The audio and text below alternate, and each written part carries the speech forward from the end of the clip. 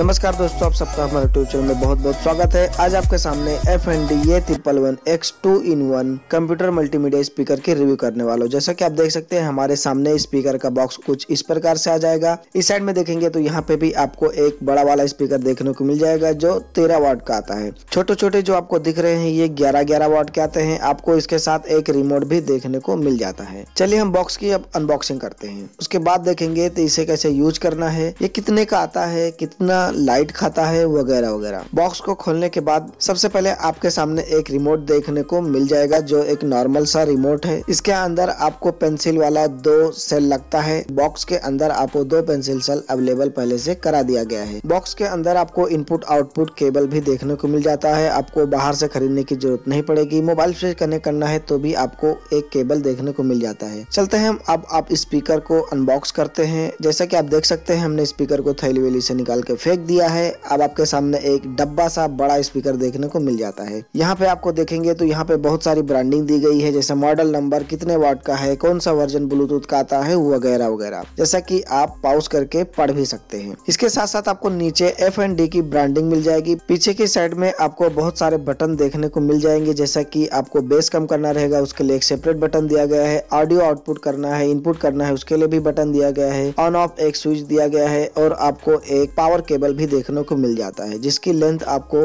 डेढ़ मीटर देखने को मिल जाती है, जो कि मेरे हिसाब से सही है, और इसके साथ साथ आपको एक बड़ा वाला एंटीना केबल भी देखने को मिल जाता है, एक यूएसबी पोर्ट भी देखने को मिलेगा, और आपको पाँच कंट्रोल बटन देखने को भी मिल जाता है, जैसे आपको गाना बढ़ाना, कम ज़्यादा करना, वगैरह वगैरह तो इसमें भी आपको एक बटन देखने को मिल जाता है। यहाँ पे इन्होंने बहुत सारी चीज़ें लिख के रखा है, जैसे आपको कैसे ऑपरेशन करना है, इसको कैसे चलाना है, कैसे क्या करना है, और यहाँ पे आपको एक बेस भी देखने को मिल जाता है, एक छोटा वाला बेस है लेकिन दोस्तों, ये बहुत ही पावरफुल है। बिल क्वालिटी की बात करूँ तो इसमें जो प्लास्टिक लगा है काफ़ी प्रीमियम मुझे लग रहा है पैसे के हिसाब से। और यहाँ की जो जाली वाली जो सामने से, ये भी काफ़ी ठोस है। अगर मैं इसके वेट की बात करूँ तो ये करीब अढ़ाई किलो का वज़न है। सारा साथ में लेके की बात कर रहा हूँ, यहाँ पे भी आपको एक कनेक्टर देखने को मिल जाता है। इस केबल की जो लेंथ है ना, ये आपको डेढ़ मीटर देखने को मिलती है। और यहाँ पे भी आपको एफएनडी की ब्रांडिंग देखने को मिल जाती है, जैसा की आप देख सकते हैं। इसकी जो जाली है, ये भी मज़बूत है। अगर आप उंगली से प्रेस करते हैं तो ये अंदर नहीं जाता है। और आपको ये डेढ़ मीटर केबल देखने को मिल जाता है, जैसा कि मैंने आपको पहले ही बता चुका है। चलिए अब टेस्टिंग की बारी आती है। मैंने ऑन कर दिया है वैसे। अब इसको हम केबल से कनेक्ट करते हैं। वैसे मैं गलत कर रहा हूँ। पहले आपको कनेक्ट कर लेना है, फिर ऑन करना है। लेकिन क्या करें? हमने कर दिया तो कर दिया। इस तरीके से आप अपने कमरे में, आप अपने टीवी के पास, कहीं भी आप इसे आसानी से इस तरीके से रख सकते हैं और एकदम भरपूर आवाज़ ले सकते हैं। चलिए हमारे पास पुराना सेल था तो हम पहले पुराना सेल लगाएँगे। पुराना खत्म होगा तो हम नए सेल के ऊपर जाएँगे। चलिए हम टेस्ट करते हैं इसको। अब हम इस स्पीकर को अपने लैपटॉप के साथ कनेक्ट कर रहे हैं। क्योंकि हमारे पास अभी पेन ड्राइव अवेलेबल नहीं था तो हमने इसको कनेक्ट कर दिया है। जैसा कि आप अभी आवाज़ सुन पा रहे होंगे। अब मैं ज़्यादा नहीं बोलूँगा। आप आवाज़ सुनिए एकदम क्लियर से। फिर आप मुझे कमेंट बॉक्स में बताइए कि इसका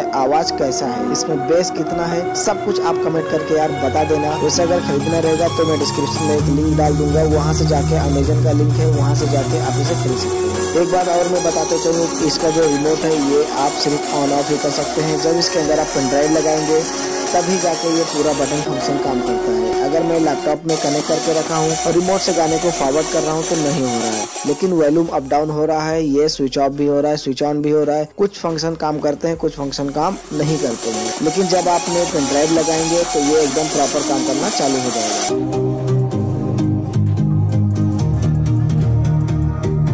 डेसिबल की बात करूँ तो आप देख सकते हैं कितना डेसीबल इसका आवाज़ आउटपुट निकाल रहा है। काफ़ी अच्छा आउटपुट है। मेरे ख्याल से बहुत ही खतरनाक आउटपुट है। मैंने दूसरे एप्लीकेशन से भी चेक किया था तो भी ये सेम डेसिबल आउटपुट निकाल रहा है। अभी आवाज़ सुन पा रहे होंगे।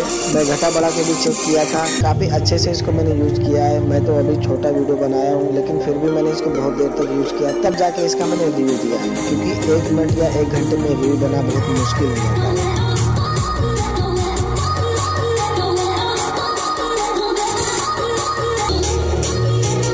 बेस की बात करूँ तो आप सामने देख सकते हैं, मैंने ये रखा है और ये काफ़ी इसको घुमाना है। एकदम सांप के माफ़ी के नाच रहा है ठम ठम करके देखो, खुद ही देखो। कब से बाहर फेंक देता कितना पावरफुल इसका बेस है। छोटा है लेकिन बहुत छोटा है।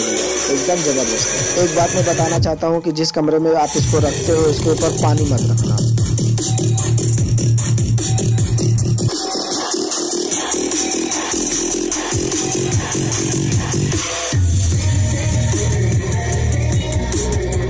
यहाँ पे आप थैली भी देख लीजिए। ये देखिए, मैंने इसको बेस चेक करने के लिए लगाया था। देखो, ये खींच रहा है अंदर। अंदर खींच रहा है।